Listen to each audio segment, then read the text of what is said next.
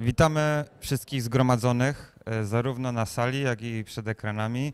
E, Gościmy dzisiaj w firmie pana e, doktora inżyniera Marka Różniaka, w firmie Agroland oraz Agrami.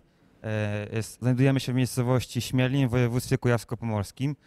Dzięki uprzejmości gospodarza mieli, mieliśmy okazję właśnie obejrzeć całą firmę oraz pola uprawne, jak to wszystko wygląda e, w praktyce i też jak to wygląda wszystko tak od środka, cała produkcja. Witamy również naszych zgromadzonych gości, e, pana profesora, doktora habilitowanego e, Dariusza Jaskulskiego.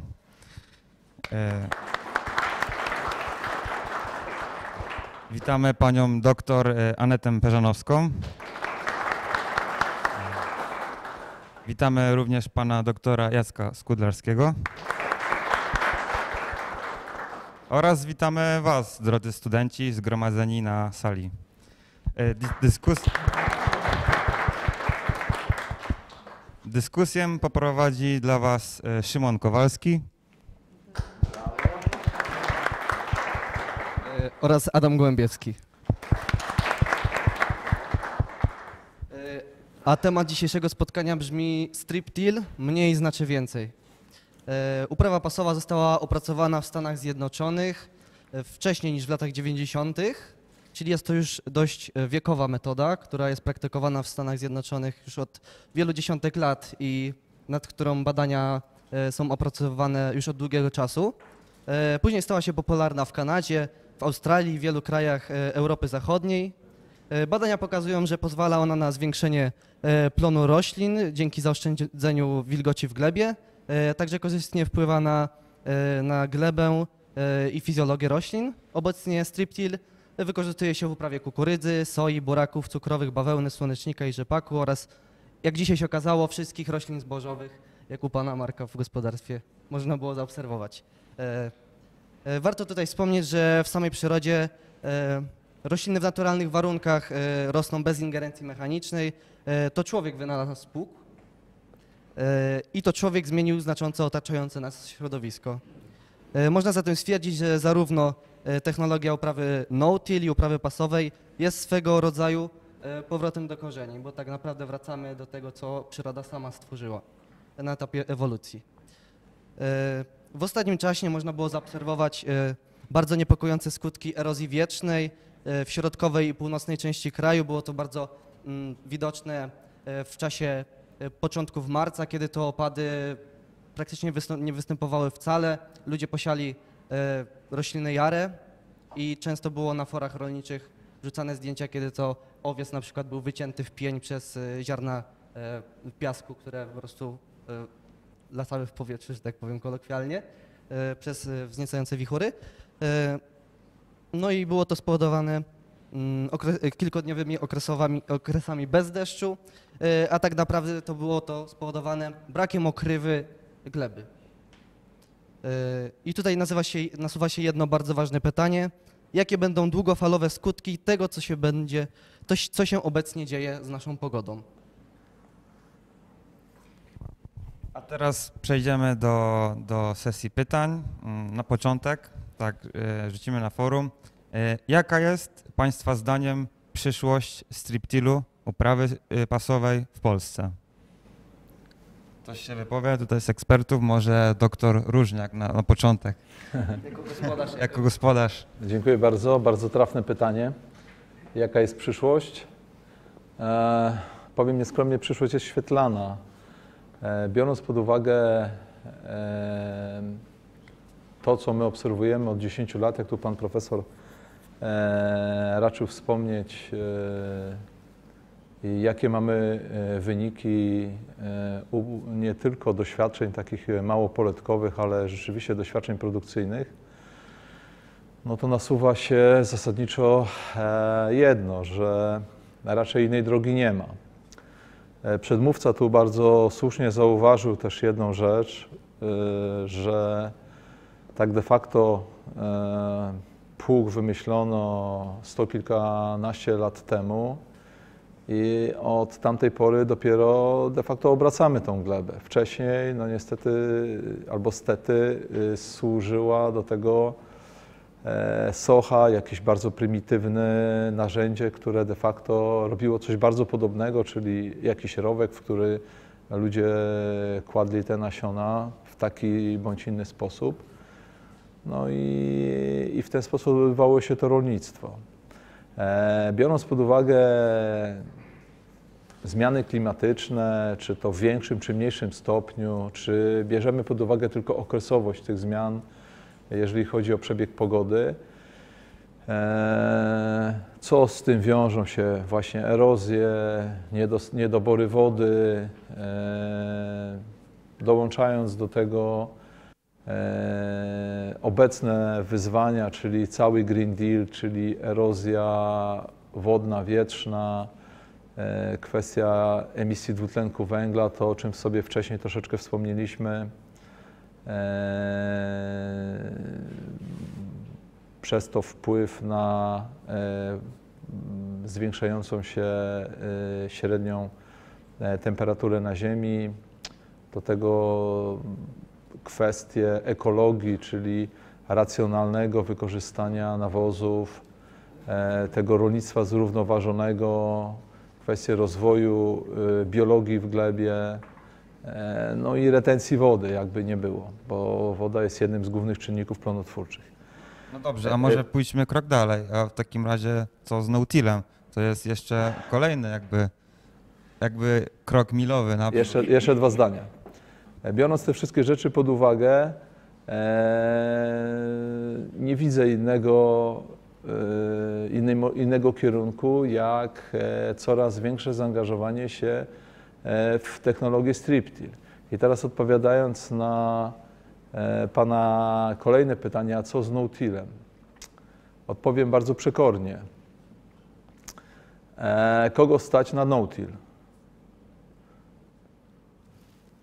Dobrze, ale Nautil to jest y, siew bezpośredni, czyli więc jeszcze kolejne ograniczenie zabiegów. Dobrze.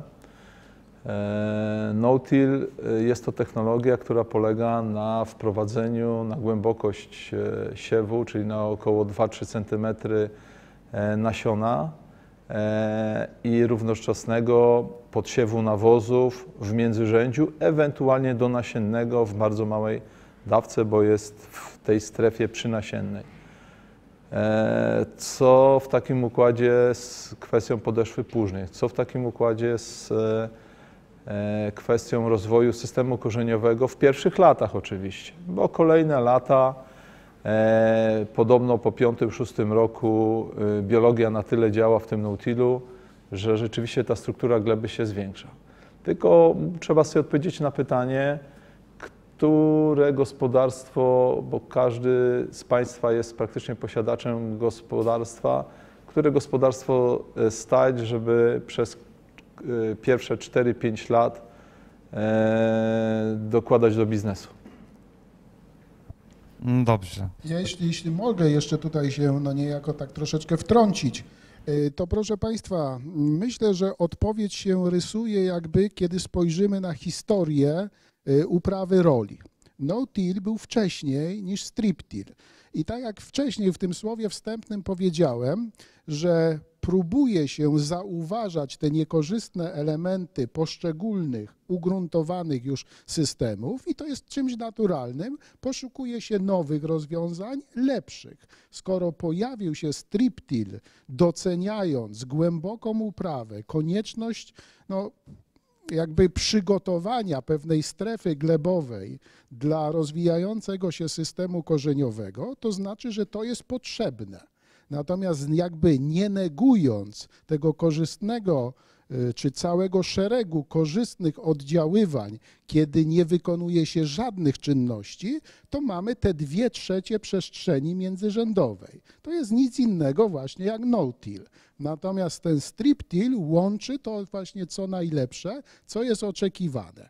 I jakby y, zwieńczeniem tego są przecież ostatnie pewne takie założenia produkcji rolnej, prośrodowiskowej, które mają chociażby odzwierciedlenie w ekosystemach.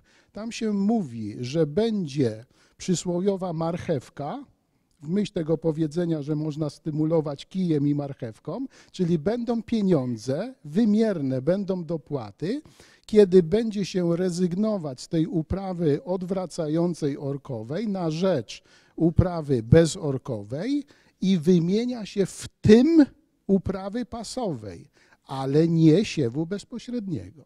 Więc mamy tu jakby odzwierciedlenie bezpośrednio już pewnych doświadczeń, no, które sposoby, które systemy uprawy są korzystne dla roślin i dla środowiska. Dziękujemy, dziękujemy za odpowiedź. E, To w takim razie kolejne może pytanie z mojej strony. E, Jak, jaka jest przyszłość systemów e, uproszczonych, systemów bezorkowych, w tym systemu uprawy pasowej, w perspektywie Zielonego Ładu, gdzie Komisja Europejska e, z roku na rok wycofuje kolejne substancje czynne z listy dopuszczonych środków? Może tutaj też poproszę o zabranie głosu pana profesora, pana profesora Jaskulskiego. Y, Proszę Państwa, no tak sformułowane pytanie od razu jakby sugeruje odpowiedź, czy taką odpowiedź domyślną, że uprawa tradycyjna, uprawa płużna, uprawa orkowa y, równa się mniejsze zużycie środków ochrony roślin lub odwracając, no właśnie, no to wtedy, jeżeli wycofuje się poszczególne preparaty, grupy preparatów, y, co jest jakby tematem na oddzielną dyskusję, y, no to nie możemy tutaj jednoznacznie tworzyć pewnego takiego stwierdzenia, że większe problemy, że zdecydowanie większe problemy będą wówczas, kiedy w gospodarstwie prowadzi się uprawę tą właśnie, jak ja to nazywam, nieinwersyjną, czyli nieodwracającą, czyli nie uprawę płużną. I tu znowu jakby odniosę się do tego naszego doświadczenia wieloletniego, gdzie od 10 lat prowadząc no, typową produkcję roślinną, stosuje się na wszystkich obiektach ten sam poziom ochrony. Nie wyróżnia się tych pasów, nie stosuje się dodatkowych środków ochrony roślin i jak na razie, obyśmy nie zapeszyli, nie ma problemów generalnie większych jak przeciętnie w danym roku, no bo zawsze te agrofagi, czy to chwasty, czy choroby, czy szkodniki, one w jakimś tam nasileniu występują. One są tak jak dzisiejsze prawo na to pozwala, ograniczane na tyle, na ile jest potrzeba stosowania ograniczania występowania, ale nie ma, nie ma w tym momencie problemów. Oczywistym jest, że tu musimy być świadomi tej uprawy i w sposób świadomy prowadzić jakby no, całą technologię związaną i właśnie z następstwem roślin i wprowadzaniem dodatkowych roślin czy dodatkowych zabiegów, no ale myślę, że to w ciągu naszej, czy w trakcie naszej dalszej dyskusji też będzie pewnie możliwość jeszcze się wypowiedzenia, żeby nie przedłużać tej sekwencji. Dziękujemy, dziękujemy za odpowiedź, za wyczerpanie tematu.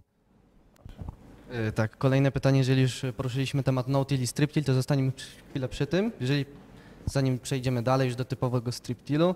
I chciałem zapytać panią doktor y, Anetę Peżanowską o tym, y, co sądzi o, o uprawie mm, uproszczonej, tudzież chodzi mi o no-till, a strip-till, wady i zalety, różnice i jak to wygląda y, obecnie w świetle polskiego rolnictwa i y, rolników, którzy teraz uprawiają i próbują wejść w tę uprawę bezorkową.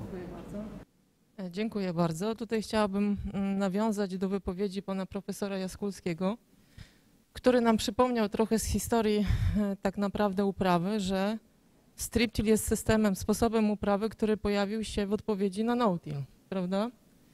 Tak jakby poszukiwano e, niwelacji mm, takich ujemnych stron stosowania uprawy zerowej. E, I tutaj też wesprę się wypowiedzią pana doktora e, Różniaka, że rzeczywiście w uprawie bezpóźnej zerowej obserwujemy pewien spadek jakości gleby w pierwszych latach, prawda? No i musimy czekać trochę na efekt mm, działania tego no-tila, że tak powiem. Ten efekt działania no-tila, e, który będzie miał miejsce mm, za jakiś czas od wprowadzenia tej zdecydowanie najbardziej restrykcyjnej uprawy, będzie związany z tym, że rozwija się życie biologiczne gleby, że rozwija się z- zwłaszcza mm, makrofauna glebowa, która to e, zastępuje nam w pewnym sensie mechaniczną uprawę, miesza resztki pożniwne, włącza je do głębszych warstw gleby, spulchnia glebę, wprowadza materię organiczną do gleby, która z kolei wpływa na zagęszczenie gleby, czyli na mniejsze zagęszczenie gleby. No ale niestety na ten efekt musimy trochę czekać. Możemy oczywiście wzmacniać ten efekt uprawy zelowej, stosując odpowiednią agrotechnikę, na, na, na, na przykład zbilansowane nawożenie roślin, wprowadzanie dodatkowej biomasy w postaci poplonów, to ten efekt korzystny uprawy zelowej mm, trochę przyspiesza. E, Niemniej jednak nie każdy ma taką cierpliwość, żeby to zrozumieć. E, Tutaj też przyświetla uprawie zerowej taka idea trochę e, prośrodowiskowego działania ochronnego, może bardziej nawet nad samymi zyskami. No i też nie ukrywajmy, że uprawa zerowa się najbardziej opłaca w gospodarstwach, które dysponują największą powierzchnią. Tam oszczędności energetyczne na jednostkę powierzchni w przeliczeniu na plon, który zazwyczaj w pierwszych latach jest niższy i tak dalej się opłacają w porównaniu do tradycyjnej e, uprawy. E, Więc tak to wygląda, nie każdy jest w stanie się zdecydować na taką restrykcyjną uprawę. No i tutaj wychodzi nam naprzeciw uprawa e, pasowa, prawda? Gdzie tak jakby przyspieszamy trochę albo niwelujemy ten niekorzystny efekt właśnie uprawy zerowej, jak zagęszczenie gleby, zwłaszcza w tych pierwszych latach, nierównomierne rozmieszczenie składników pokarmowych e, w pionowej warstwie prawda, gleby, czyli ich akumulacja często przy powierzchni gleby. No i tutaj wprowadzanie tych spulchnionych pasów, e, gdzie też stosujemy nawożenie pod korzeń, po prostu nam zmodyfikowało w lepszym kierunku tą uprawę zerową, dalej pozostawiając pewne powierzchnie e, bez uprawy, które mm, robią tą robotę, która była wykonywana w uprawie zerowej. No i tak widzę, jeżeli chodzi o przyszłość tych obu systemów w Polsce, no to zdecydowanie e, uprawa pasowa mm, ma większy potencjał, żeby przyjąć się na szerszą skalę. Poza tym pamiętajmy, że uprawa mm, zerowa, taka jeszcze połączona z mulczowaniem gleby, e, zwłaszcza znajduje zwolenników w rejonach, gdzie mamy problem raczej e, z gorącym klimatem, prawda? Gdzie chcemy tę glebę zacieniać, że, gdzie chcemy na wszelk- za wszelką cenę utrzymywać wilgotność w glebie. E, No u nas nie zawsze jest tak, że tej wilgoci i tej obniżonej temperatury chcemy mieć za wszelką cenę oczywiście e, utrzymać ten poziom odpowiedniej wilgotności czy obniżenia temperatury, bo żyjemy w klimacie umiarkowanym, gdzie czasami nawet ta obecność resztek pożniwnych na powierzchni gleby, e, tego mulczu jest dla nas jako rolników niekorzystna, prawda? Opóźnia wegetację roślin. E, Czasami też nie chcemy, chcemy nawet, żeby pole szybciej obesło, niż żeby ta woda czy ta wilgotność się utrzymywała dłużej, zwłaszcza w okresach wiosennych czy jakiejś przekropnej jesieni.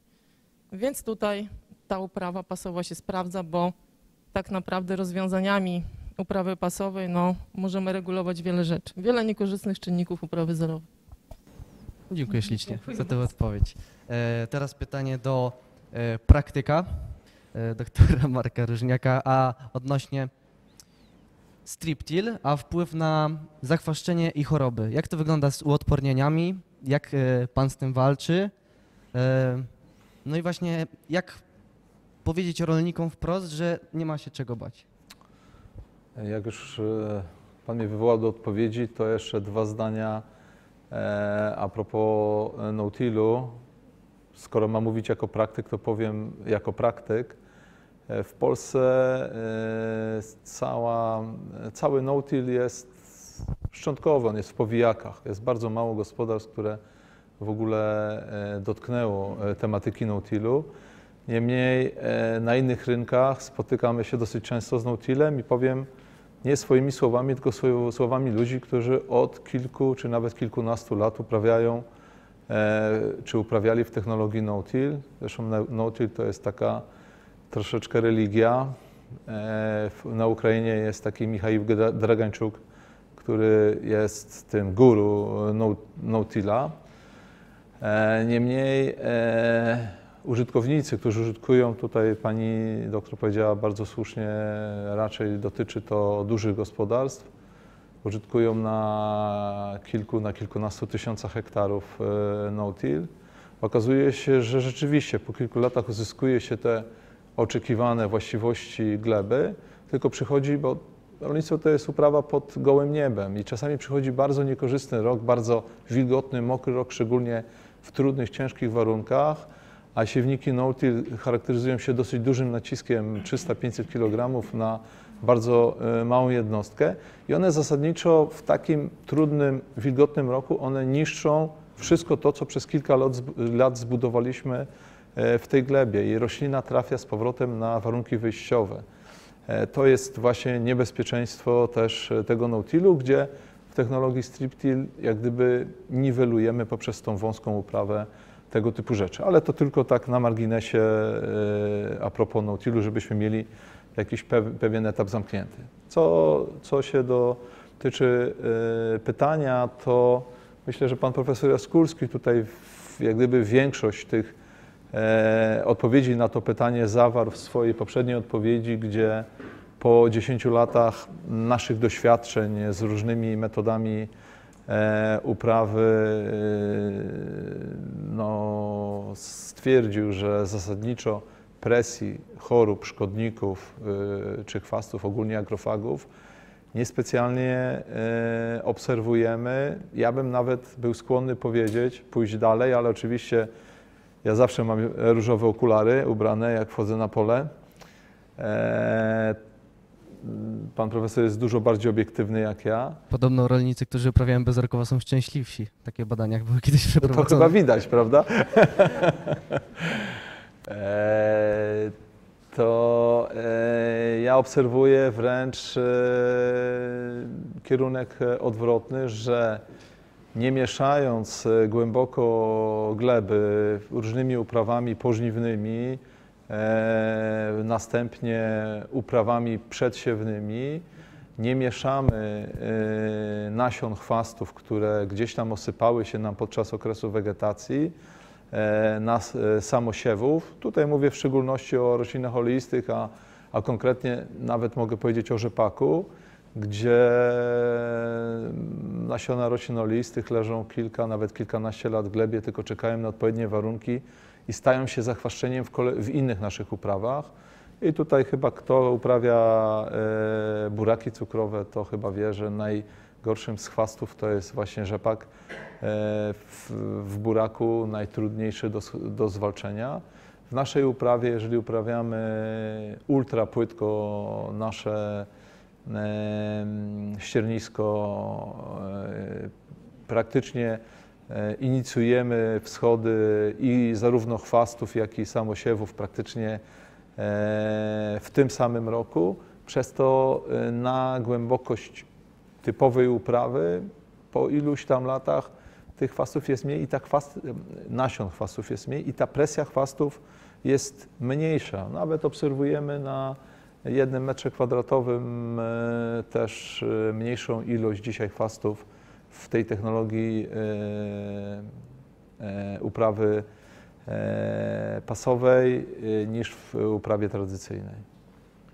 Czyli, proszę bardzo. Tutaj pan doktor właśnie podjął bardzo ciekawy temat. Y, Jeżeli on już wypłynął, to może dwa słowa powiem, bo może później gdzieś nam przemknie, a jest godny właśnie podkreślenia, że tak naprawdę tym podstawowym źródłem zachwaszczenia naszych roślin uprawnych to jest gleba. To jest ten tak naukowo mówiąc glebowy bank nasion.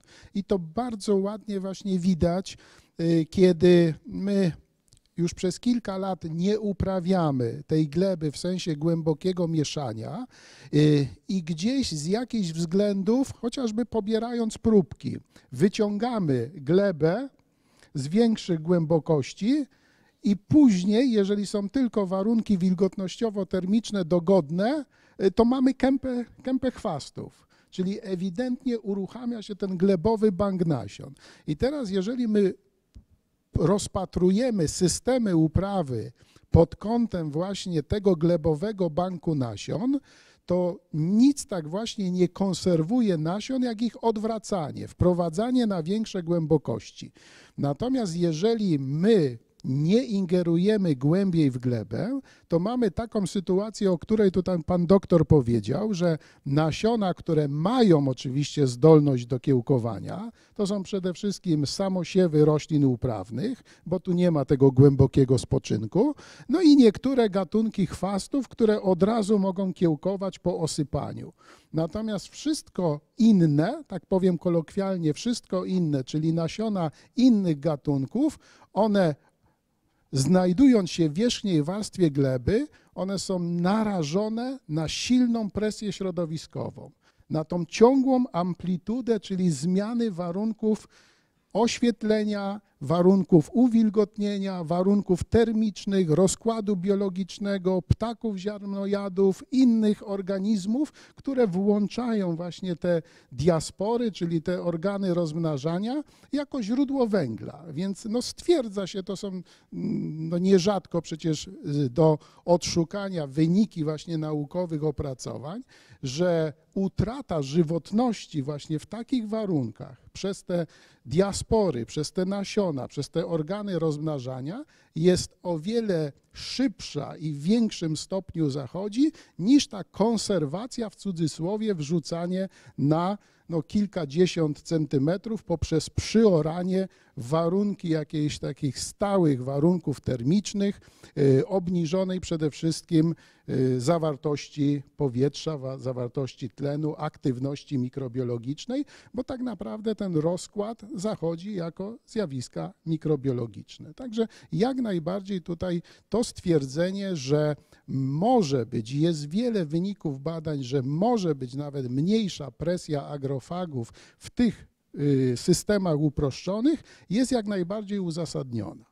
Jeżeli z punktu widzenia naukowego, już tylko ostatnie zdanie, uczestniczymy często w różnych konferencjach naukowych, sympozjach, spotkaniach, to trwa odwieczna dyskusja pomiędzy zwolennikami, którzy pokazują swoje wyniki i równie dużo jest y, no, przeciwników tych typowej, klasycznej uprawy, którzy znowu pokazują wyniki badań w odniesieniu czy to do chwastów, czy chorób, czy szkodników, który system y, no, jest lepszy. Nie chcę wyrażać tego, że bezwzględnie jest lepszy, ale prowadzi do no, mniejszej presji ze strony agrofagów.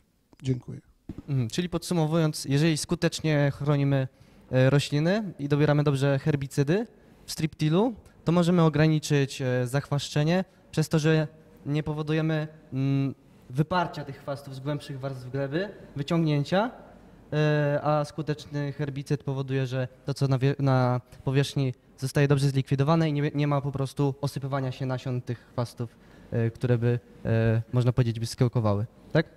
No tak, nie ma zasilania tego glebowego banku, a jeżeli nawet jest, no bo bądźmy realistami, zawsze jakieś tam chwasty się pojawiają, yy, no to jest większa presja właśnie środowiska i szybsza utrata żywotności przez te nasiona, yy, aniżeli ich wrzucenie na większą głębokość i wyoranie po kilku latach, gdzie zachowują zdolność, a nawet mało tego, y, ustępuje ten spoczynek i nasiona kiełkują, dając kolejne pokolenia chwastów.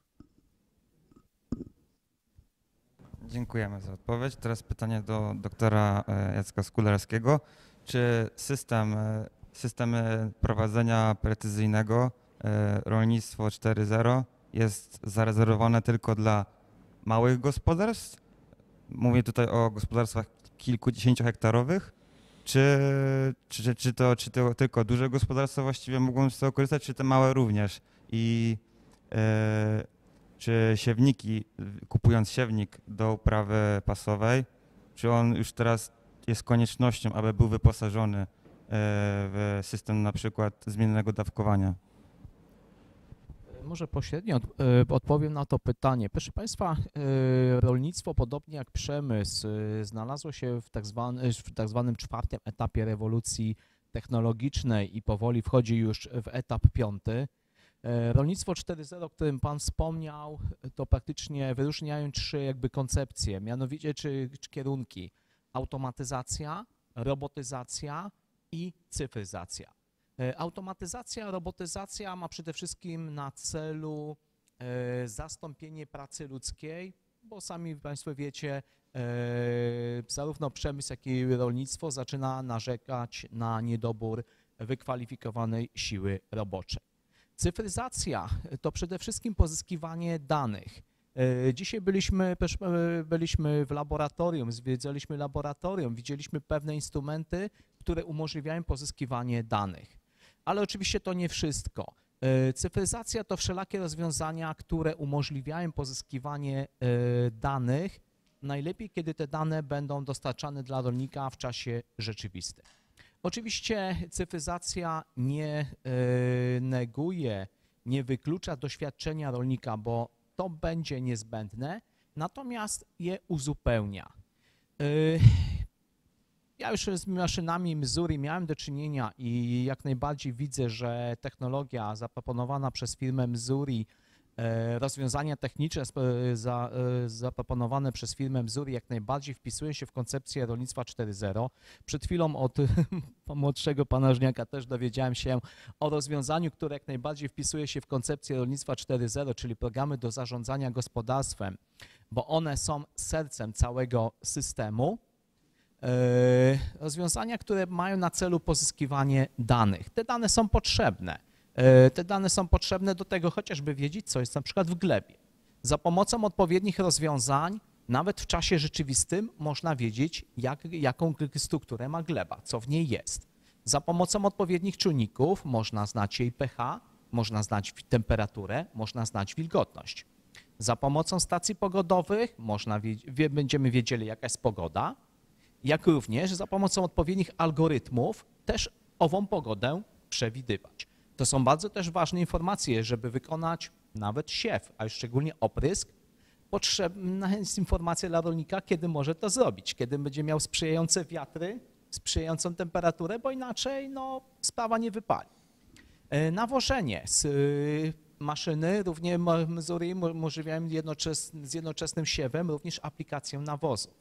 Europejski Zielony Ład, który po pierwsze zakłada redukcję zużycia nawozów, ale również też narzuca zrównoważone ich podawanie, tutaj też jak najbardziej rozwiązania cyfrowe są potrzebne.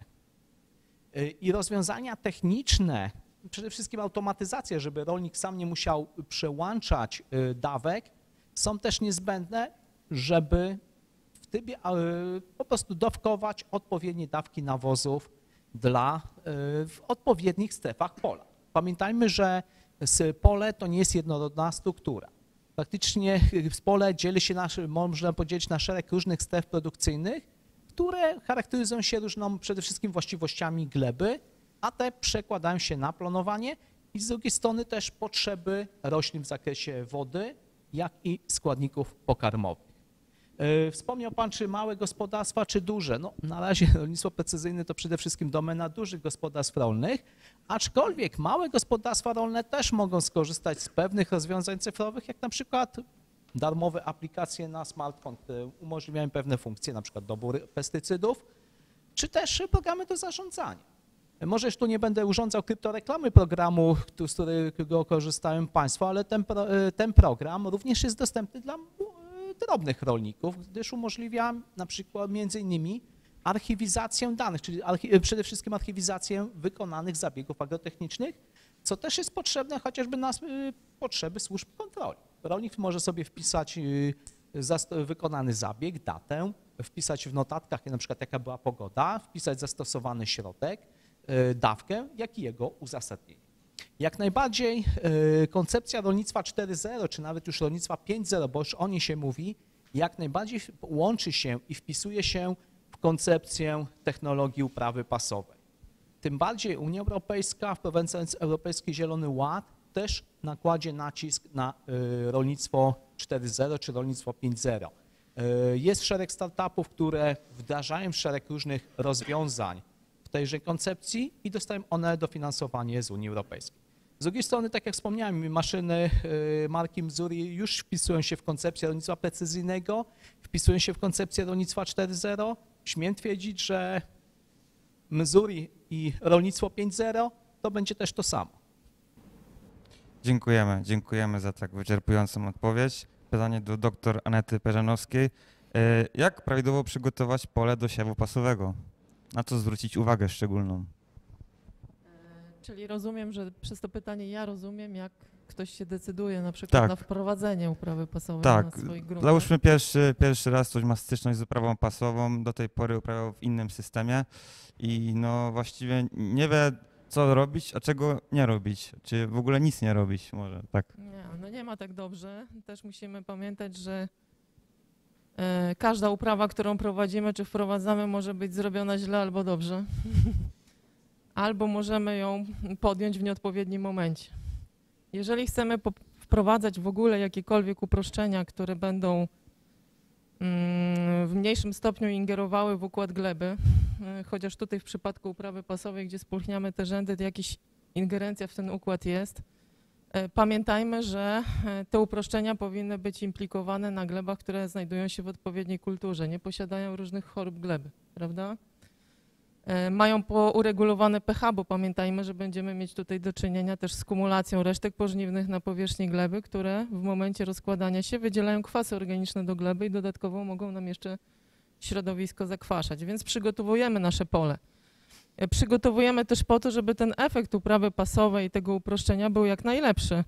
E, I chociażby ten temat zachwaszczenia. Nie spodziewajmy się, że jeżeli mamy pole zachwaszczone w złej kulturze i wprowadzamy nagle e, efekt, e, jakąś uproszczenie uprawy, mm, gdzie eliminujemy walkę praktycznie taką mechaniczną za pomocą głębokiej orki z tymi chwastami, gdzie zagrzebujemy okresowo ten bank nasion, to możemy w pewnym momencie spotkać się z jakąś większą presją e, chwastów, ale nie jest to wina samego systemu uprawy, tylko wina naszego zaniedbania, które tak naprawdę e, było wygenerowane przez nas.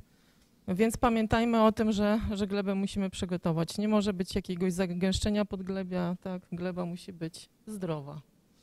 Tak, przede wszystkim, a jakie choroby gleby możemy znaleźć na naszych polach też wszyscy wiemy po kursie już rolnictwa na naszej uczelni chociażby i z praktyki. Tak, zdrowa gleba to podstawa. Tak, e, zwłaszcza jeżeli chodzi o właściwości fizyczne, ale też oczywiście też właściwości chemiczne. E, Czyli też o tym pamiętajmy. Dziękuję bardzo. Jeśli można, ja jeszcze swoje pięć groszy przysłowiowe dorzucę, y, że pamiętajcie także Państwo o powierzchni gleby. A więc możliwość wykonania precyzyjnego siewu związana jest z tym, jaką mamy powierzchnię gleby. Tu przede wszystkim mam na myśli resztki pozbiorowe, resztki roślinne, czy to resztki przedplonu w postaci na przykład słomy y, rośliny przedplonowej, czy biomasy roślin, na przykład roślin międzyplonowych, y, ich obecność, ich stan, ich rozłożenie na powierzchni gleby no nie powinno jakby limitować y, precyzji wykonanego, wykonanego zabiegu. Dlatego też tak ważne jest, y, jak to ktoś kiedyś powiedział, a chętnie powtarza właśnie pan doktor, że pierwszą i podstawową maszyną do uprawy pasowej to jest porządny kombaj do zbioru z sieczkarnią. Jeżeli słoma pozostaje na powierzchni jako mulcz, a powinna pozostawać, y, żeby ona była dobrze rozdrobniona, żeby ona była przede wszystkim równomiernie y, rozrzucona na polu, a jeżeli nawet takiego stanu nie osiągamy, bo życie, chociażby taki drobiazg jak silny boczny wiatr, powoduje, że te resztki roślinne są układane pasowo, a nie równomiernie, no są możliwości tej bardzo takiej płytkiej, jak to też doktor się wyraził, ultra płytkiej y, uprawy, która tak naprawdę bardziej ma za zadanie nawet może równomierne rozprowadzenie tych resztek y, roślinnych, y, aniżeli wykonywanie sensu stricte jakiegoś zabiegu skierowanego na glebę. Dziękuję. Dziękujemy ślicznie. Czy pan doktor Marek Różniak chce jeszcze coś dodać od siebie, czy też uważa pan, że tak z praktycznego punktu widzenia, jak tak na co dzień pan wychodzi na pole, to już jest wszystko? E, Ja powiem tak, e, uprawa pasowa to tak de facto to jest uprawa dla leniwych. E, leniwych, ale myślących, bo tutaj naprawdę nie trzeba wnosić. Ja zawsze patrzę troszeczkę z punktu widzenia ekonomiki, bo my przy dzisiejszej dyskusji dosyć mało poruszamy tej ekonomiki, a tak de facto po to każdy z nas wstaje i wychodzi na to pole, wcale nie dlatego, znaczy też dlatego oczywiście e, mnie bardzo cieszą piękne pola, piękne uprawy i wysoki plon, ale tak de facto chodzi tutaj przede wszystkim o to, e, ile, ile na tym zarobimy, prawda? E, I dlaczego mówię, że uprawa dla leniwych, ale myślących? Ze względu na to, że rzeczywiście tych zabiegów wykonuje się dużo mniej. Sama, sama inwestycja, jak gdyby do momentu, do momentu zbioru czy do momentu siewu, jest zdecydowanie mniejsza jak, jak przy każdej innej uprawie. Oczywiście e, wpisuje się w to też no-till, bo to jest też uprawa, która e, niesie za sobą bardzo małe nakłady. E, pytanie potem jest tylko o efekty.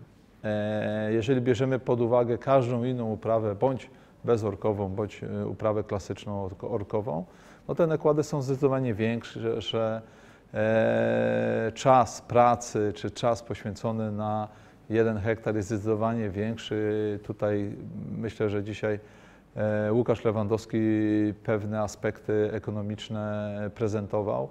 I to jest dzisiaj dla nas istotne, bo oczywiście, jeżeli ktoś ma 30-50 hektarów, jak gdyby to jest dla niego czas spędzony na polu jest, jest troszeczkę drugorzędną sprawą, bo on z przyjemnością to robi, tego czasu nie liczy, E, ale e, przy większych obszarach ma to znaczenie i dlatego ten człowiek, który uprawia w technologii Mzuri jest dużo bardziej szczęśliwy, bo jest częściej w domu, nie?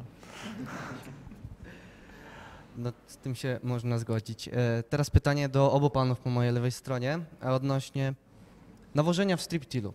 E, jakie nawozy, najpierw do e, profesora Jaskulskiego, jakie nawozy, czy fosfor, potas podawać na pełną głębokość, czy może rozdzielić to tak, żeby fosfor padał na, na samo dno bruzdy, a potas był podawany bliżej nasion? E, Jak wyglądają badania na ten temat i jak to e, wygląda w praktyce na gospodarstwach uprawiających w striptilu? Znaczy, proszę Państwa, to poruszamy następne, aż się poprawiłem, bo odpowiedź może być relatywnie długa, bo nie da się krótko odpowiedzieć. Natomiast tak jak tutaj koleżanka powiedziała, no Państwo tą podstawową wiedzę z zakresu rolnictwa macie, więc nie ma potrzeby robienia wykładu, jak poszczególne nawozy działają, y, jak one są na przykład mobilne w glebie, jaka jest zasada doboru na przykład dawki w zależności od zasobności gleby i tak dalej i temu podobne. I tu proszę Państwa tak naprawdę w zasadzie nic innego y, nie wymyślimy. Można powiedzieć prochu nie wymyślimy, a więc tak jak potrzeby roślin na to wskazują i z drugiej strony jakie są właściwości gleby. Y, Wiemy generalnie, że fosfor oczywiście w glebie jest stabilny, albo inaczej mówiąc, nie przemieszcza się, nie wymywa się, więc nic nie stoi na przeszkodzie, żeby on się znalazł głębiej niż na przykład potas. Ale również nic nie stoi na przeszkodzie, żeby na przykład potas znajdował się głębiej, jeżeli właściwości gleby y, no, nie predystynują go do przemieszczania pionowego. Jest kwestia kiedy a więc z jaką rośliną mamy do czynienia? Czy z rośliną ozimą, gdzie stosujemy nawożenie przed siewem czy w czasie siewu, a większość pobierania składników jest dopiero po pewnym czasie, czytaj po zimie. Czy też mamy do czynienia z rośliną jarą, zwłaszcza o krótkim okresie wegetacji, o płytkim systemie korzeniowym, gdzie to nawożenie no, musi być podane bezpośrednio, praktycznie jak niemowlakowi do ust, czyli w bezpośrednim zasięgu systemu korzeniowego. I teraz, jeżeli chodzi o przeniesienie tych zasad ogólnych do uprawy pasowej, a jeszcze bliżej do uprawy tej Mzuri Protil stosowanej przy użyciu tych maszyn, które najlepiej znamy. Y, I nasze tutaj, jeśli mogę się jednocześnie identyfikować z tymi rozwiązaniami, te nasze rozwiązania wychodzą niejako naprzeciw. A więc sposób, możliwość aplikacji umożliwia podawanie nawozów w różne miejsca. I płycej, i głębiej, i dzielenie tej dawki, i oddzielne podawanie dwóch nawozów, y, częściowe podawanie nawet na powierzchnię gleby. Dobra maszyna wychodzi naprzeciw tym właśnie y, podstawowym wymaganiom roślin i właściwości gleby, z jakimi można się spotkać, bo maszyna no, musi być uniwersalna, wobec tego te rozwiązania są uniwersalne, no bo są dedykowane do różnych warunków glebowych. Yy, Tylko podkreślę może jeszcze to w odróżnieniu, bo wytworzyła się w tym momencie, czy od samego początku, no, taka tendencja do porównywania chociażby Notilu czy innych yy, systemów uproszczonych z tymże yy, systemem Striptil. Tu nie mamy podawania nawozów na jedną głębokość, tylko mamy podawanie nawozów w przestrzeń glebową. Czyli jest możliwość stosowania relatywnie nawet, jeżeli są takie potrzeby, większych dawek, bo cała ta dawka jest jakby y, no, rozcieńczona w tej przestrzeni spulchnionej, a nie tylko w słynnym jednym rzędzie 5 cm w bok i 5 cm niżej, jak to klasycznie się mówi o nawożeniu zlokalizowanym. Więc oczywiście nawożenie może być znacznie mniejsze, nawet do 30-50%, o czym zostało to dzisiaj, dzisiaj powiedziane i my w swoich projektach badawczych mamy cały taki cykl już czteroletnich badań, gdzie pokazujemy, że przy zmniejszeniu dawki nawozów o 30 do 50%, ale podawanych w pas spulchniany, mamy nie gorsze plony przy, niż przy nawożeniu większym, ale no nazwijmy to całopowierzchniowym. Dziękuję. Również dziękujemy. E, No to już jak jesteśmy przy tym temacie, to tak chciałbym zadać pytanie z punktu praktycznego osoby, e, która załóżmy przejmuje gospodarstwo po dziadkach, ziemia jest zapuszczona, pH kwaśne, zasobność bardzo niska. Chcę od razu wejść w striptil, ponieważ uważam, że to jest technologia przyszłości. Chcę zaoszczędzić dużo wody e, i od razu wejść na całego po prostu w te rolnictwo regeneratywne, no można tak powiedzieć nawiasem mówiąc.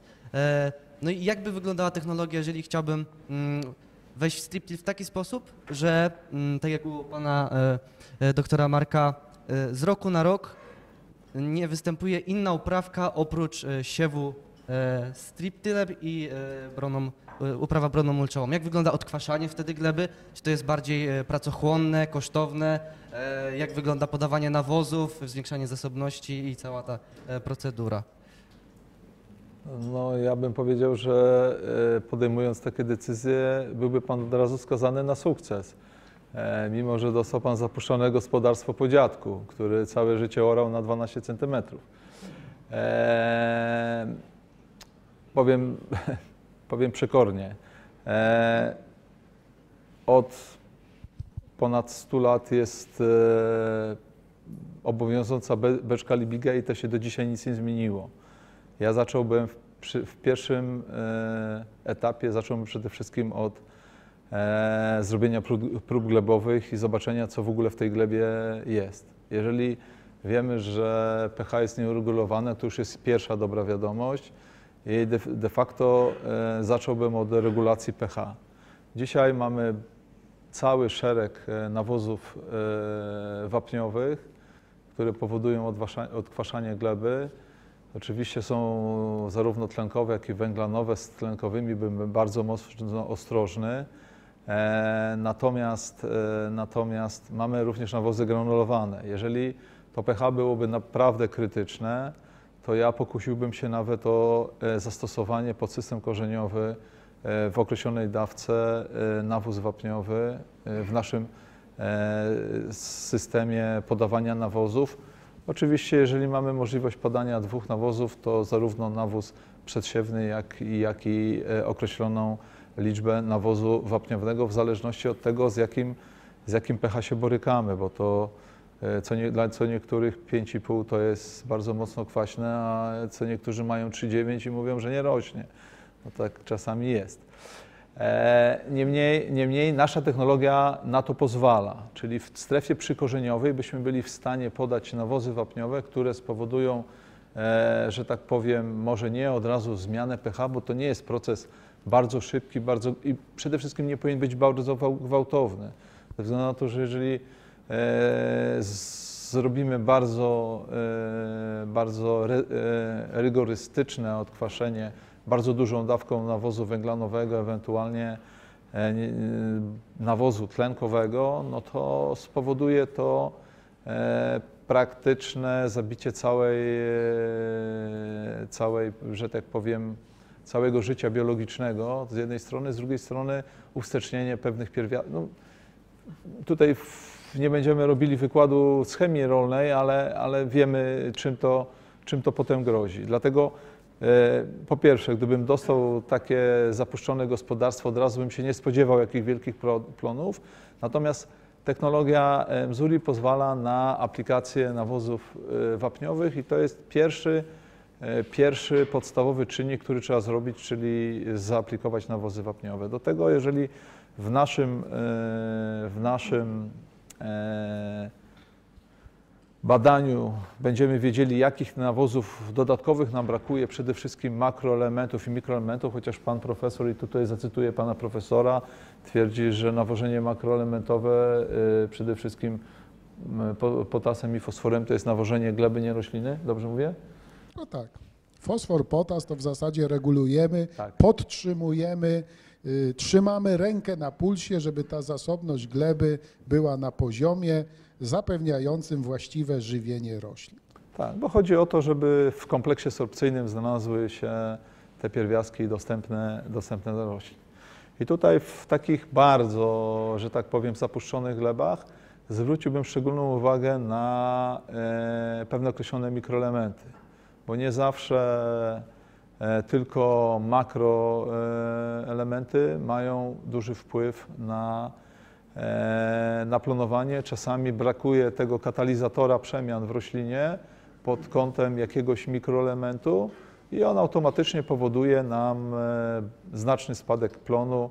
Czasami w krytycznych wypadkach e, widzi się nawet ginięcie całych placów roślin i to jest wcale nie powiedziane, że brakuje tam azotu, bo każdy mówi, dobra, no to posiejemy azotu i będzie dobrze.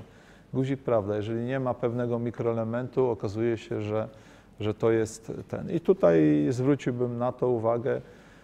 E, Jeżeli już idziemy dalej e, w naszą technologię, to dzisiaj byliście Państwo jednymi z pierwszych, którzy zobaczyli czterozbiornikowy e, nasz, e, nasz e, mm, agregat, gdzie właśnie jest to przewidziane, że możemy dodatkowo zasilić granulatem z mikroelementami roślinę donasiennie, właśnie w takich krytycznych sytuacjach, czasami, które się zdarzają i, i wtedy będzie zdecydowany efekt tego nawożenia mikro, mikroelementowego. I oczywiście pomijam nawożenie dolistne, które oczywiście wszyscy znają.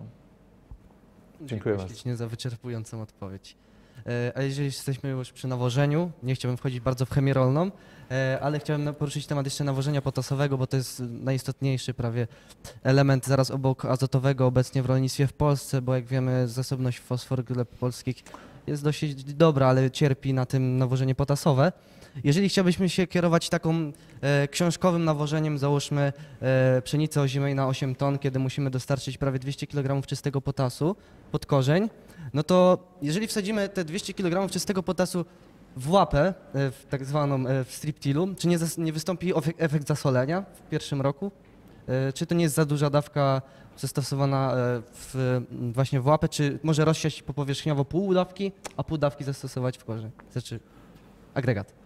E, my- Rozumiem, że pytanie jest do mnie kierowane. E, To ja odpowiem może, jak to wygląda nawożenie w naszym gospodarstwie i e, praktykowane od ładnych e, kilku lat. E, zasadniczo przy e, siewie każdej z roślin stosujemy e, fosfora namonu, czyli de facto sam azot i fosfor. Wynika to z tego względu, że fosfor z azotem dosyć pozytywnie wpływa na rozwój systemu korzeniowego. To, co e, już pan profesor powiedział, e, fosfor jest mało ruchliwy, jeżeli chodzi o e, pionowe przemieszczanie, e, czyli ta roślina go swobodnie, nawet jeżeli jest dosyć głęboko zaaplikowany. Natomiast jeżeli chodzi o potas, potas stosujemy wczesną wiosną z dwóch powodów. E, Aplikowanie go w strefę przykorzeniową, pewne grupy roślin są dosyć wrażliwe na chlorki. Jeżeli mówimy o nawozach e, potasowych, często są, są, to, często są to e, sole chlorkowe, które potrzebują jak gdyby takiego przepłukania tego chloru i stosowanie go przy, w strefie przykorzeniowej nie jest korzystne.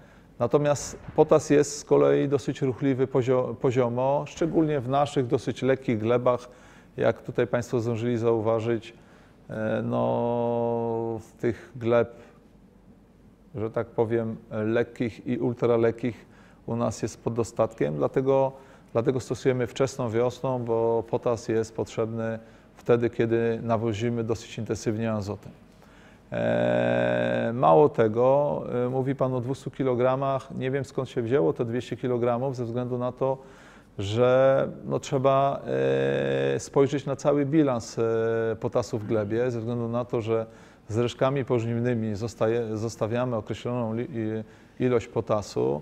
Trzeba byłoby to zbilansować. Mało tego, trzeba się oprzeć też na, e, na badaniach glebowych, które no, dzisiaj gospodarstwo nie wykonuje raz na 4 lata, tak jak kiedyś było to przyjęte, tego wykonuje albo co roku, a najwyżej co drugi rok i to jeżeli w ogóle włączamy tutaj w to rolnictwo tak zwane 4.0 czy 5.0 czy rolnictwo precyzyjne, no my mamy możliwość stosowania zmiennych dawek e, e, nawozów, jednego, dwóch nawozów.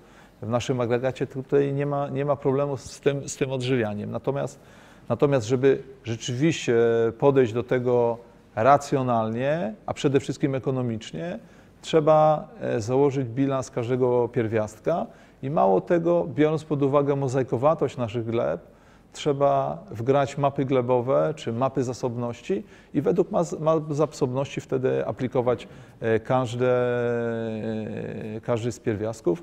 I wtedy mówimy o racjonalnym nawożeniu, mówimy o, o, y, o tym rolnictwu, rolnictwie 4.0 czy 5.0 i wtedy nie mamy problemów z przemywaniem tego, y, tych, e, tych pierwiastków y, gdzieś z nieracjonalnym nawożeniem, czy ewentualnie pod podnoszeniem e, wielkiego larum, że dzisiaj w rzekach płynie nam e, wszystkie składniki z pola zmywane i tak dalej. Jak to podnoszą Niemcy, Holendrzy i tak dalej. Tylko, że dzisiaj powiem tutaj znowu, jak człowiek, który tam e, troszeczkę pobywał i, e, i zna ich podejście do, e, do nawożenia, no jak się leje 100 metrów sześciennych gnojowicy, wali się 100 ton e, geresu na hektar i jeszcze się e, stosuje e, 100 kg w czystym fosforu,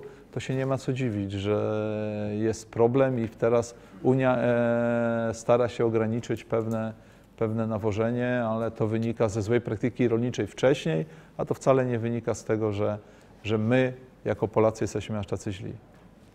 Dziękuję. Jeżeli Dzięki. tutaj jedno słówko jeszcze co do tego potasu, to oczywiście to, co właśnie pan doktor tutaj powiedział i to wybrzmiało. Dzisiaj już trochę inaczej podchodzimy do nawożenia potasem, a szczególnie jest to widoczne przy rzepaku, gdzie wręcz no już prawie, no, że normą, zasadą się stała y, wiosenna, pogłówna dawka tychże nawozów. Wobec tego właśnie w tej technologii niejako jest to przenoszone, zwłaszcza w odniesieniu do roślin ozimych. To, co wcześniej powiedziałem, nie ma właśnie potrzeby, żeby duże dawki były stosowane wówczas, kiedy jest małe relatywnie przez długi jeszcze czas zapotrzebowanie roślin. I to jest właśnie tu jeszcze tak skorelowane, że jeżeli mamy glebę y, używam tu języka trochę takiego potocznego. Mamy glebę ciężką, to ona z reguły jest glebą zasobną y, i, z regu- znaczy i wtedy wystarczą małe dawki. Więc można się pokusić, oprócz tego nawożenia y, no, sztampowego niejako fosforanem amonu, ewentualnie o trójskładnikowy y, nawóz, y, zaspokajając niejako potrzeby. Natomiast jeżeli mamy lekką glebę, a więc wtedy dawkowanie musi być duże, żeby zbilansować, no to jak najbardziej uzasadnione jest podzielenie tej dawki i w zależności, czy to jest roślina ozima, czy to jest roślina jara, stosujemy część właśnie posypowo, pogłównie, a część ewentualnie w tą przysłowiową łapę. Dziękujemy bardzo. Teraz pytanie do pana doktora Jacka Skudlerskiego. Jak wiemy, e, ofe- rolnictwo precyzyjne oferuje już e, ma- mapy zasobności gleby, fosfor i potas. Czy podobne e, mapy glebowe są już dostępne dla zasobności w węgiel organiczny dla gleby? I jakie to może dać korzyści e, rolnikowi? E, Jeśli chodzi o mapy e, zasobności, to one powinny nie dotyczyć tylko podstawowych makro czy mikroskładników, ale także innych elementów. To również oprócz elementów pokarmowych, także na przykład mapy przewodności elektromagnetycznej, które bardzo dostarczają bardzo dużo informacji. Poza tym y, w trakcie powiedzmy wegetacji dość dobrą informację dają nam e, zdjęcia satelitarne, na podstawie których można obli- wyznaczać ws- wskaźniki wegetacji roślin, które może nie w pełni podadzą nam problem, ale wskażą, gdzie on jest. Wskażą lokalizację tego problemu, gdzie można później dokonać szerszych badań i wywnioskować, co tam się z roślinami dzieje. Tak, ponieważ no, jak wiemy, mm, materia organiczna po części uwalnia się z gleby, udostęp- udostępniając inne składniki, w tym azot. E, Obecne programy, programy węglowe, e, no jeszcze nieobecne chyba w naszym kraju wręcz, ale już na zachodzie już to obowią- obowiązuje, że no, są dopłaty do, do węgla, do akumulacji węgla i, i właśnie czy, czy w rolnictwie czy w uprawie pasowej takie mapy zasobności węgiel organiczny e, powinny właśnie też e, jakby, e, czy powinny również wpływać na nawożenie w tych, w tych agregatach? Powiem tak, na ile mi wiadomo, z, zero, w kierunku zeroemisyjności muszą iść wszyscy rolnicy, wszy- wszy- wszystkie gospodarstwa rolne, więc będzie to jak jak najbardziej obligatoryjne dla wszystkich e, rolników. Oczywiście będą sposoby pomiaru z e, emisji, e, będą sposoby wyznaczania wskaźników, na podstawie których będzie można określać, jak w znacznym stopniu gospodarstwo emituje czy pochłania węgiel. Kredyty węglowe są już dostępne w Polsce. No oczywiście nie będę też wymieniał tutaj firmy, która to oferuje. E, Już rolnicy mogą z takich możliwości korzystać. No, y, tak jak Europejski Zielony Ład stał się faktem. Chyba, że obecna sytuacja no, wpłynie y, na jakąś modernizację tego ładu. Jeśli nie, będzie on dalej kontynuowany, rolnicy będą musieli przestrzegać tych zasad. Tak jak powiedzmy przemysł będzie musiał ograniczyć emisję CO2, również i rolnicy będą musieli to zrobić. Mm, Dziękuję bardzo. Pytanie dla pani doktor Anety Perzanowskiej. E, Jak kształtować architekturę łanu e, wśród zbóż w, w systemie uprawy pasowej? Czy tą normę, czy ta norma wysiewu powinna być mniejsza niż e, w siewie takim, no można powiedzieć, tradycyjnym? Jeżeli chodzi o uprawę pasową, dzisiaj też się mogliśmy przekonać w praktyce yy, i była mowa o obsadzie tak, ziarniaków na metrze kwadratowym w momencie siewu. Yy, W przypadku jęczmienia pamiętam, że było to na hektarze Milion sześćset. tak, milion sześćset. Co nam daje ile na metrze kwadratowym ziarniaków? 160. Zgadza się. 60. E, Czyli pamiętajmy, że tak naprawdę zawsze w kształtowaniu e, architektury łanu mm, zwracamy się do składowych plon. E, Główną składową plonu roślin uprawnych jest obsada nie tyle roślin, co na przykład kłosów w przypadku roślin zbożowych. Więc my e, dążymy swoją agrotechniką i swoimi wszelkimi działaniami na polu, aby zapewnić obsadę kłosów na odpowiednim poziomie. Mm, I możemy to robić stosując odpowiednie mm, nawożenie w odpowiednich fazach rozwojowych, e, odpowiednie terminowe terminy siewu roślin uprawnych. E, Także możemy też tak poprowadzić tą plantację naszą, żeby ta obsada kłosów jakaś końcowa była zado- zadowalająca nas i pozwalająca nam uzyskać odpowiednio e, wysokie plony. Na przykład e, z tej obsady 160 roślin na metrze kwadratowym moglibyśmy swoją agrotechniką mm, doprowadzić do tego, aby rośliny się lepiej rozkrzewiły i dodatkowo te kłosy produktywne zostały utrzymane aż do końca wegetacji, prawda? Nie zostały jakieś niedogony, tylko chcemy utrzymać te kłosy. Kłosy powinny mieć odpowiednio dużą liczbę ziarniaków w kłosie, ziarniaki powinny być odpowiednio wypełnione i pamiętajmy, że te parametry, czyli dodatkowe składowe plonu, takie jak liczba ziaren w kłosie czy masa tysiąca ziaren, również kształtują się na odpowiednich fazach rozwojowych roślin. Przy czym pamiętajmy, że mm, taki parametr jak liczba ziaren w kłosie e, i jego różnicowanie się mm, w obrębie rośliny ma już miejsce w momencie nawet krzewienia roślin, prawda? Czyli dbamy o rośliny od początku do końca, e, ponieważ od początku do końca kształtujemy plon, prawda?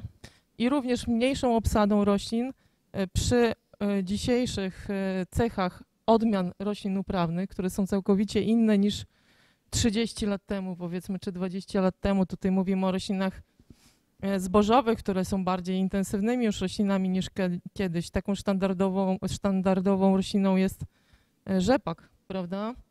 E, Jesteśmy w stanie uzyskać porówny wysokie plony przy zmniejszonej obsadzie, obsadzie roślin. Dziękuję, dziękuję bardzo za odpowiedź. E, Pytanie dla doktora, jeszcze ostatnie, e, Marka Różniaka. Jak prędkość pracy agregatów Missouri wpływa na zużycie ich elementów roboczych? Tutaj jest zalecana jakaś prędkość optymalna, której nie powinniśmy przekraczać, czy starać się utrzymać pewien zakres? E, Ja bym powiedział, że raczej potrzebna jest pewna zdroworozsądkowość w tym wszystkim, e, ze względu na to, że w zależności od e, warunków i rynków, gdzie pracujemy, czasami ta, ten nasz część robocza, o której mówimy, wytrzymuje 3000 hektarów, bo po pierwsze jest to gleba e, o dużej zawartości e, materii organicznej, bo nie ma kamienia, e, bo jest to jednorodna gleba o bardzo małej zawartości kwarców, czyli piasku. I wtedy możemy sobie pozwolić na dosyć dużą prędkość i do tego, jeżeli ona jest właściwie uwilgotniona, no to wtedy nie ma żadnego problemu.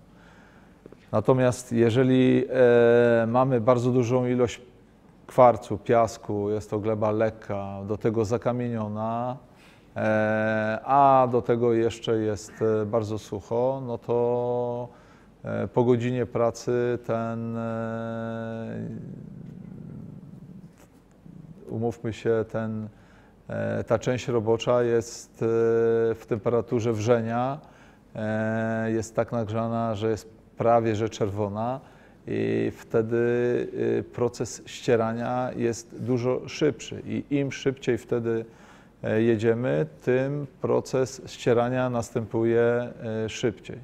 Dlatego ja zalecam tutaj zdroworozsądkowość i e, rzeczywiście przy glebach zakamienionych, przy glebach e, z dużą ilością e, kwarcu e, zalecam takie powiedzmy sobie umiarkowane prędkości w granicach 80 km na godzinę. Natomiast jeżeli są to jakieś czarnoziemy na Rumunii czy w Kazachstanie, no to spokojnie można te 12, nawet 14 km na godzinę agregatem jechać i wiem, że z powodzeniem gospodarstwa to praktykują i- i w, tych, e, w, takich, e, w takim tempie sieją. E, Ważna jest tylko s- też stabilność tego gruntu, bo jeżeli, ono się, jeżeli ten grunt się przesypuje z rzędu w rząd jak woda ze względu na to, że, ono jest, że on jest niestabilne, to też, to też trzeba zwrócić na to uwagę. Inaczej, w każdej technologii, to nie tylko w technologii uprawy pasowej czy uprawy mzuri, czy orkowej, bezorkowej. Najważniejsze jest połączenie między siedzeniem a kierownicą. Jeżeli tam jest odpowiednie połączenie, e, które zadaje sobie trudu, żeby czasami pomyśleć, to doskonale wie, ile, z jaką prędkością może jechać, co się dzieje z agregatem, e, na jakiej głębokości, czy prędkość pracy ma wpływ na położenie nasion, no i przede wszystkim na to, czy co chwilę nie podskakują bezpieczniki hydrauliczne, bo jakieś kamienie są w gruncie i tak dalej. To jest Czyli mimo tego, że technologia poszła do przodu, nadal rola operatora jest kluczowa w prawidłowym nadzorowaniu maszyny. e, kluczowa. Będziemy ją wykluczać e, ze względu na to, że jeżeli mówimy o rolnictwie 4.0 czy nawet 5.0, no to z przodu będziemy mieli skaner, który będzie nam skanował tą glebę. Będziemy wiedzieli na głębokości metra, jaką mamy granulometrię tej gleby. Będziemy wiedzieli, czy to jest gleba e, zakamieniona, czy w ogóle o jakiej strukturze jest to gleba. E, Czyli tutaj jak gdyby wyłączymy kierowcę z myślenia o tym, czy nam się tam zamykają te bezpieczniki, czy nie.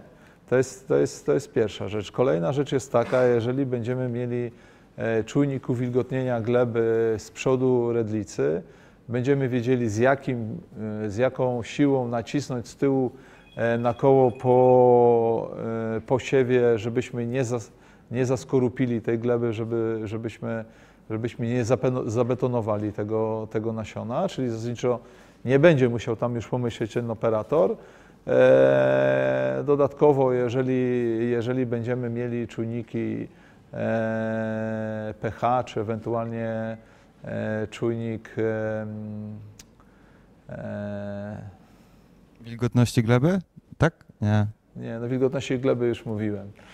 E, no dobrze, nie będę inaczej. Tak, już. Zastanowiłem się, bo to de facto za, za chwilę opowiem o wszystkich naszych tajemnicach i to już przestanie być tajemnicą, tak?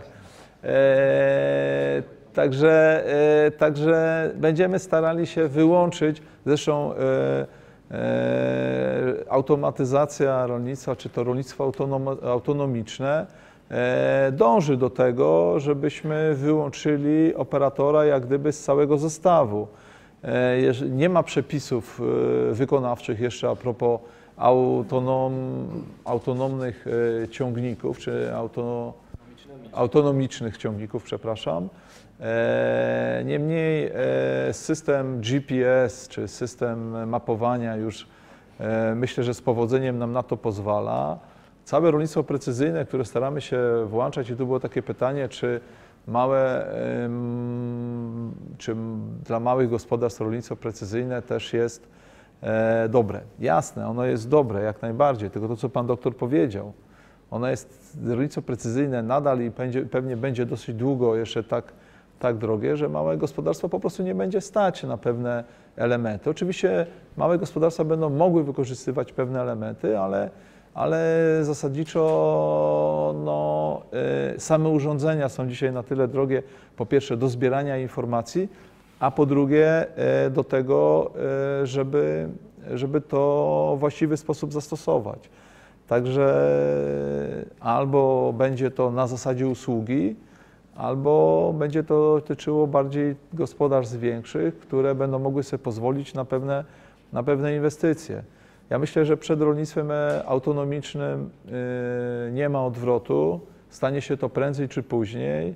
Myślę, że w dużych gospodarstwach, a raczej w obszarach, gdzie są duże gospodarstwa, myślę tutaj o Ukrainie, jak już się ta wojna skończy, e, myślę tutaj o, e, o Francji czy części Niemiec, właśnie tej bardziej wschodniej części Niemiec e, i tak dalej, czy Czechach, e, czy Rumunii.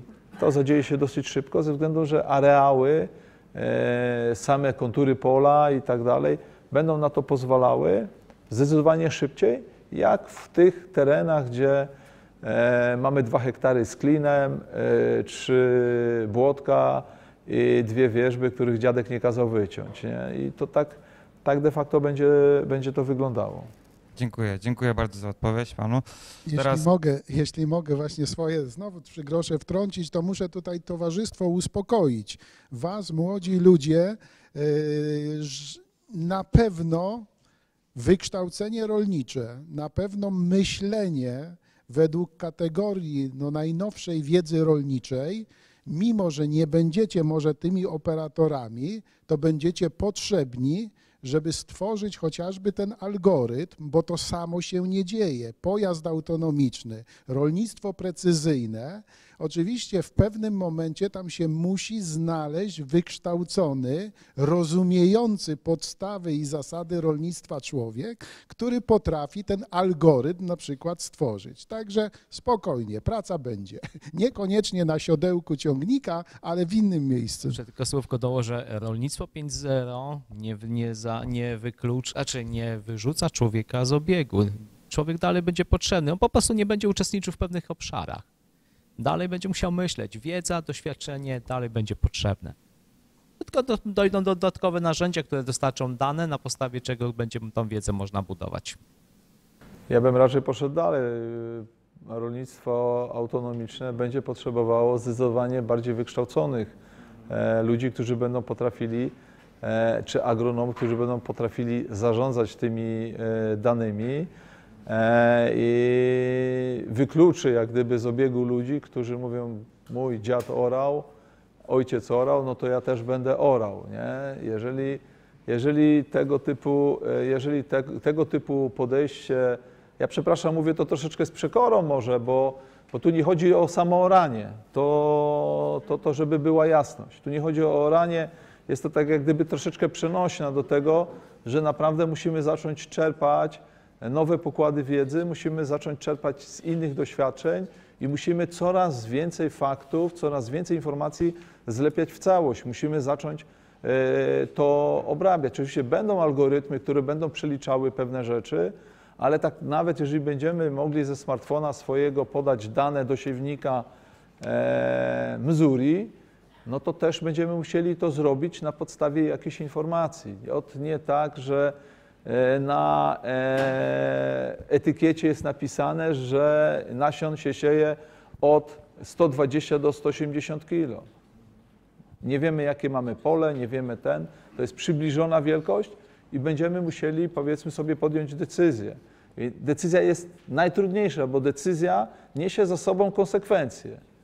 I będą potrzebni ludzie, którzy na bazie informacji dostępnych e, dla siebie będą mogli podjąć decyzję, gdzie konsekwencją będzie tylko zwiększony plon. Jeżeli konsekwencją będzie totalna klapa, to takie decyzje będzie można podjąć dwa razy w życiu. Pierwszy raz w życiu, żeby wziąć kredyt, a drugi raz w życiu, żeby oddać gospodarstwo komornikowi. Dziękuję. I tym akcentem chcielibyśmy skończyć tą e, dzisiejszą dyskusję. E, chcieliśmy bardzo podziękować e, przede wszystkim naszym prelegentom za udział w dyskusji i merytoryczne wypowiedzi poparte argumentami praktycznymi. E, e, mam nadzieję, że zostało wyjaśnione wiele wątpliwości, które nurtowały młodych rolników i którzy, e, którzy też mieli możliwość zadania pytań na polach, widząc te rośliny, jak wschodzą, jak wygląda wegetacja, bo to jest najważniejsze, uważam, w obecnym rolnictwie, żeby wyjść na te pole i, i zobaczyć od strony praktycznej, bo nauka dzięki praktyce, praktyka dzięki nauce. E, Tak więc e, dziękujemy wszystkim zgromadzonym, gościom oraz gospodarzowi tego wydarzenia, e, panu doktorowi Markowi Różniakowi. Ja również bardzo serdecznie.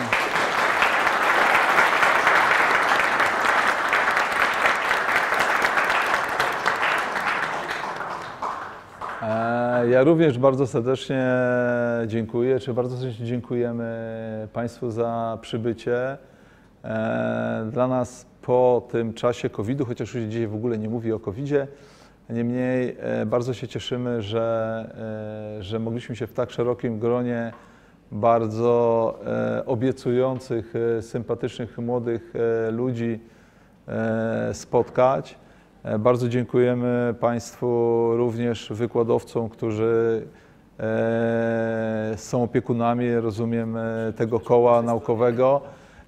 To jest dla nas bardzo budujące, że, że taka szeroka rzesza młodych ludzi zadała sobie trud, żeby tam przyjechać gdzieś na głęboką wieś do Śmielina i zobaczyć, co tutaj, co tutaj się wytwarza. To może tylko jeszcze ja powiem od siebie, tutaj od e, SGGW i naszych studentów. Bardzo chciałam podziękować panu doktorowi za poświęcony nam czas, e, za te wszystkie wskazówki, opowieści, odpowiedzi na pytania. E, I myślę, że studenci bardzo dużo wynieśli z dzisiejszego dnia, który nam pokazał, że nauka łączy się z praktyką, praktyka z nauką, a pan doktor jest, że tak powiem, przykładem. Bardzo, bardzo dziękuję. E, Tych uprzejmości pewnie nie będzie końca. Ja powiem tylko tyle. Jestem zbudowany tym e, i wiem, że polskie rolnictwo ma przyszłość, jeżeli tylu młodych ludzi e, interesuje się czymś e, nowym poza tym, że e, zamykają się gdzieś w tym swoim wąskim obszarze, bo im szerzej e, zaczynamy patrzeć, tym więcej informacji możemy skupić. Także bardzo serdecznie jeszcze raz dziękuję i dla mnie to jest naprawdę dzisiaj bardzo budująca e, chwila. Dziękuję bardzo. Dziękujemy.